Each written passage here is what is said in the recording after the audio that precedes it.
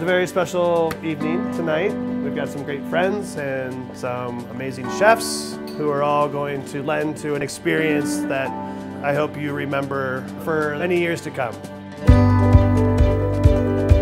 This notion of modernity is really about a struggle with people and identity. If we take all the time to source ingredients, why can't we culturally source ingredients as well? Why can't you just tell the story of where this thing comes from? And this is one of the contested issues in food discussions right now, which speaks to identity. And I want to say thank you to everybody who is here tonight to join us in this very luscious feast for a good cause. Really felt like that connection between farmer and what I was doing at my station in the restaurant was real and alive and, and it meant something.